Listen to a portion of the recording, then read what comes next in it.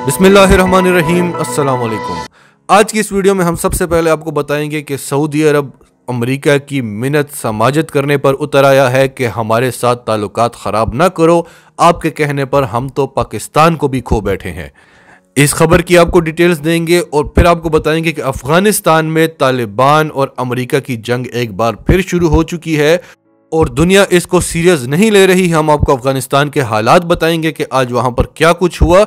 और एक बार फिर इल्ज़ाम पाकिस्तान पर लगना शुरू हो चुके हैं कि अफ़गानिस्तान में इंतशार पाकिस्तान फैला रहा है, भारत नहीं। और सबसे आखिर में भारतीय मीडिया की धुलाई करेंगे। आपको बताएँगे कि भारतीय मीडिया पर जो एक प्रोपेगेंडा फैला हुआ है कि पाकिस्तान में ईरान ने सर्जिकल स्ट्राइक्स की हैं, जो उनका बड़ा पुराना ख्वाब है, उसकी असल हकीकत क्या है? वो हकीकत आपको बताएँगे और फिर भारतीय मीडिया की थोड़ी सी धुलाई करेंगे और आपको बताएँगे कि भारतीय मीडिया ने ऐसा क्यों किया और ये सुनकर आपको ज़रूर शौक लगेगा। तो डिटेल्स में जाते हैं। उससे पहले अगर अभी तक आपने हमारा चैनल सच टीवी सब्सक्राइब नहीं किया तो इसे अभी सब्सक्राइब करें और बेल आइकन पर क्लिक करें ताकि हमारी आने वाली वीडियोस आपको वक्त पर मिलती रहें। कल की वीडियो में हमने आपको बताया था कि जो बाइडन ने अपनी नई पॉलिसी बता दी है, उसका कहना था कि अमेरिका वापस आ गया है और हम सऊदी अरब का यमन जंग में साथ नहीं देंगे। यमन में जो इंसानी कवानीन की और इंसानी हकूक की धजियाँ उड़ाई जा रही हैं, उसका हिस्सा अमरीका कभी भी नहीं बनेगा और सऊदी अरब को यह जंग ख़त्म करना होगी। और सऊदी अरब ने जो पाकिस्तान के रिजर्व्स में पैसे रखवाए थे, जिन पर सऊदी अरब हमसे सूद ले रहा था, जो हम इस्तेमाल भी नहीं कर सकते थे जिस पर सऊदी अरब हमें ब्लैकमेल कर रहा था तो हमने पहली किस्त वक्त से पहले ही लौटा दी, फिर उसने ब्लैकमेल किया तो हमने दूसरी किस्त भी लौटा दी, और अब आखिरी किस्त जब रहती थी और पाकिस्तान देने को तैयार बैठा था तो सऊदी अरब ने ये पैसे विड्रॉ नहीं किए, क्योंकि उसके साथ जो हुई है, अब वो पछता रहा है कि एक पाकिस्तान ही तो था, जिसकी वजह से मैं मुस्लिम उम्मा का लीडर बना बैठा था।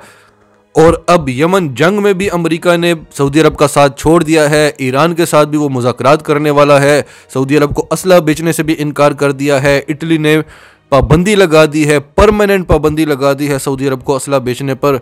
तमाम यूरोपीय ममालिक, जर्मनी भी पाबंदी लगा चुका है। बरतानिया पर भी प्रेशर है कि आपने सऊदी अरब को असलहा नहीं बेचना। तो अब कहाँ है वो अमेरिका? कहाँ है भारत? कहाँ है इसराइल? अब जदीद असलहे के लिए सऊदी अरब को कहाँ जाना पड़ेगा? या तो भारत से असला लेगा या पाकिस्तान से असला लेगा, लेकिन जदीद असलहा लेना है तो चीन जाना पड़ेगा, रूस जाना पड़ेगा। और आपको याद होगा, पिछले दिनों जब सऊदी अरब के वज़ीर खारजा ने रूस का दौरा किया तो रूसी वज़ीर खारजा ने उनको क्लियर पैगाम दिया कि अगर रूस के साथ दोस्ती करनी है तो उसका रास्ता वाशिंगटन से होकर नहीं आता, इस्लामाबाद और बीजिंग से होकर आता है। कल जब जो बाइडन ने सऊदी अरब का साथ छोड़ने का ओपन ऐलान कर दिया, उसके बाद आज सऊदी अरब ने अमेरिका की मिन्नत समाजत की कि ऐसा ना करें, हमारे साथ ताल्लुकात ख़राब ना करें। आपके कहने पर हमने खत्े में जंगें छेड़ी, हमने हमसाए को हमसाए से लड़ाया, भाई को भाई से लड़ाया, हमने डिविजन्स बनाई।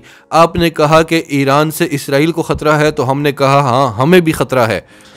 आपने कहा कि आपको यमन से ख़तरा है, उस पर हमला कर दो। हमने 40 मुल्कों की फ़ौजें इकट्ठी की और यमन पर हमला कर दिया।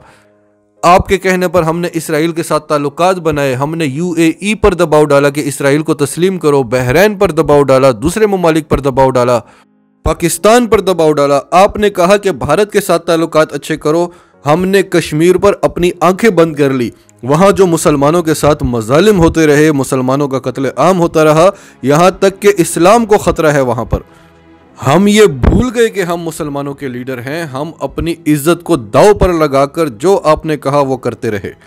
हम मुसलमान ममालिक को आपस में लड़ाते रहे और आपके कहने पर जो एक पाकिस्तान ही था, जो हमारे लिए चट्टान बनकर खड़ा था, जो हमारी सिक्योरिटी भी करता था और हमारी हर बात वो मानता था, किसी बात पर इनकार नहीं करता था, उस पाकिस्तान पर जब मुश्किल वक्त था तो आपके कहने पर हमने उस पर दबाव डाला, उससे अपना कर्ज वापस मांगा, उसके साथ ताल्लुकात ख़राब किए, भारत के साथ ताल्लुकात बनाए और आज आप हमें कह रहे हैं कि आप हमारे साथ इस जंग का हिस्सा नहीं हैं और आप हमें बेयारो मददगार अकेला छोड़ रहे हैं।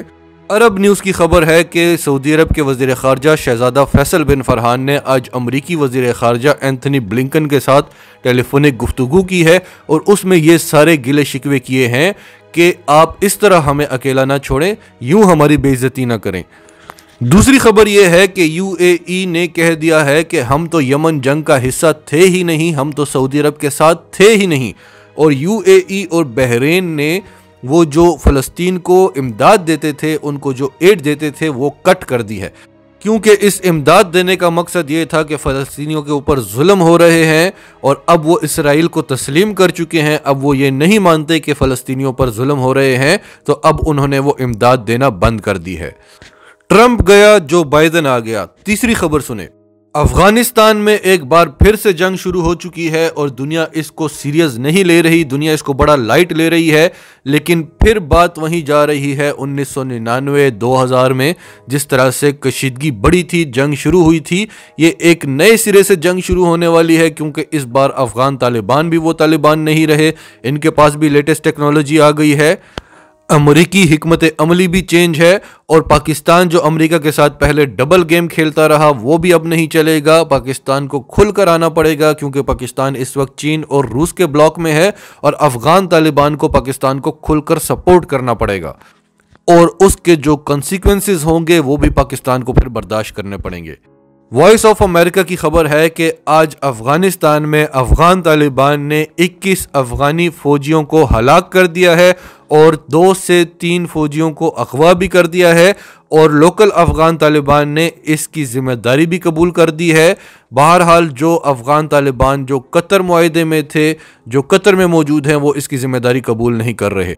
इसके बाद एनबीसी न्यूज़ कहता है कि अफगान तालिबान जिन्होंने हथियार रख दिए थे, यानी वो तालिबान जो हथियार रख चुके थे, उन्होंने दोबारा हथियार उठा लिए हैं और वो फ्रंट लाइन पर आ गए हैं लड़ने के लिए और उन्होंने अमेरिका को धमकी दी है।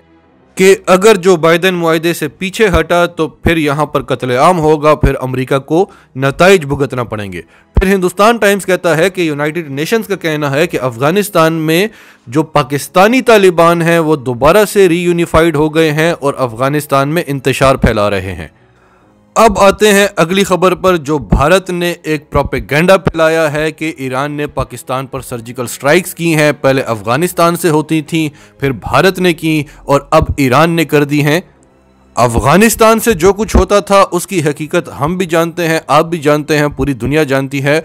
भारत का भांडा हमने फोड़ दिया था और भारत के अंदर घुस कर फिर हमने जो कुछ किया था, वो भी सारी दुनिया ने देखा। और अब ईरान के साथ जो हुआ, उसकी हम आपको मुख्तसरन आपको सारी कहानी समझा देते हैं।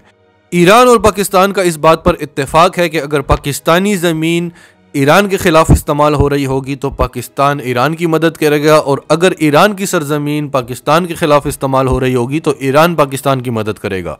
तो आप जानते हैं कि बलोच पाकिस्तान में भी हैं, बलोच ईरान में भी हैं, और ये जो पाकिस्तान और ईरान का बॉर्डर है, इसके दोनों तरफ़ कुछ ग्रुप्स हैं जो एक्टिव हैं, जो दहशतगर्द ग्रुप्स हैं कुछ वहाँ बैठकर पाकिस्तान के ख़िलाफ़ कार्रवाइयाँ करते हैं, कुछ यहाँ बैठकर ईरान के ख़िलाफ़ कार्रवाइयाँ करते हैं तो हुआ यूँ था कि 2018 में ईरानी फ़ौजियों को, तकरीबन 12 फ़ौजियों को अगवा किया गया था और उनको पाकिस्तानी इलाके में ले आए थे। तो ईरान ने पाकिस्तान से मदद मांगी थी और फिर पाकिस्तानी फौज ने ऑपरेशन किया था क्योंकि पाकिस्तानी टेरिटरी में थे, पाकिस्तानी इलाके में थे वो। तो पाकिस्तानी फौज ने ऑपरेशन किया था और बड़ा कामयाब ऑपरेशन था और पाँच फौजियों को बाजियाब कराकर ईरान के हवाले कर दिया था। फिर 2019 में जो बाकी फौजी उनके कब्जे में रह गए थे तो पाकिस्तानी फौज ने दोबारा ऑपरेशन किया तो वो यहाँ से भागकर ईरान चले गए थे और ये सीस्तान का इलाका है, ये ईरान के बलूचिस्तान में है। पाकिस्तान के बलूचिस्तान में नहीं, ईरान के बलूचिस्तान में, ये आप नक्शे में देख सकते हैं, ये पाकिस्तानी बॉर्डर पर भी नहीं है, ये अफ़गानिस्तान के बॉर्डर पर है। तो क्योंकि ये ईरान का इलाका है तो ज़ाहिर है कि ईरान की फौज ही यहाँ पर ऑपरेशन करेगी तो ईरान की फौज ने यह ऑपरेशन किया और वहाँ से फौजी अपने बाजियाब कराए। अब पूरी दुनिया में सिर्फ़ भारतीय अखबार हैं जो ये खबर दे रहे हैं कि ईरान ने पाकिस्तान के इलाके में पाकिस्तान के अंदर घुसकर सर्जिकल स्ट्राइक्स की हैं। सर्जिकल स्ट्राइक्स जिसको भारत बहुत मज़ाक समझता है, पाकिस्तान जैसी ताकत के लिए ये बड़ा पुराना ख्वाब है इनका कि अगर हम नहीं तो कोई भी पाकिस्तान पर सर्जिकल स्ट्राइक्स कर ले और जो काम अमेरिका नहीं कर सकता और आप जो अपने आप को इतनी बड़ी ताकत समझते हैं, आपका अभिनंदन हमने वहाँ से आपकी हदूद में से पकड़कर उसको ले आए। आपके तैयारे गिरा दिए, आपके आर्मी चीफ को आपके मुल्क के अंदर घुस कर निशाना बनाकर हम वापस आए। आपने क्यों नहीं की अभी तक सर्जिकल स्ट्राइक्स आपने अभी तक बदला क्यों नहीं लिया?